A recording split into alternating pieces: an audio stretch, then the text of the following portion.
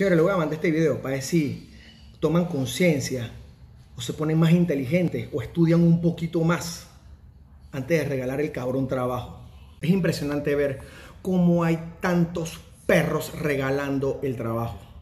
Me parece, la verdad, no sé, estúpido que una persona te baje un presupuesto al 50% de lo que uno hace porque simplemente se quieren ganar el, el negocio. Si supieran que lo que están haciendo es dañar el bendito negocio por andar de perros regalando su trabajo. Y lo digo porque me acaba de pasar. No lo sentimos, ya no lo podemos, no vamos a tomar su cotización porque conseguimos una más barata. Así. Señores, acuérdense una cosa, como dice el señor Benicedeño, la coctelería es para el que puede, no para el que quiere.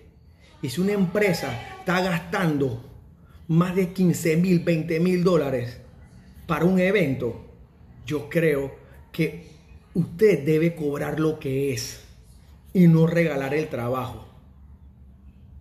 Si me dice que lo bajaste a 100 dólares menor que yo, yo te entiendo.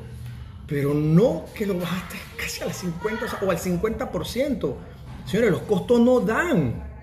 ¿Ah?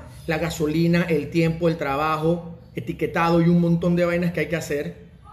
¿Ah? En serio.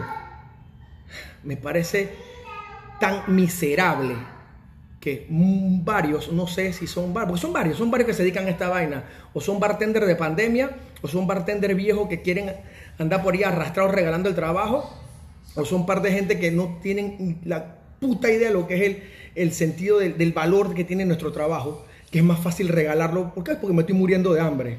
Man, tú te vas a seguir muriendo de hambre y los demás también nos vamos a morir de hambre por regalar el cabrón trabajo. Porque ya eso de precio pandemia, eso fue al inicio, ya tú no puedes seguir cobrando lo mismo. Hay que cobrar lo que es. No regalen el puta trabajo.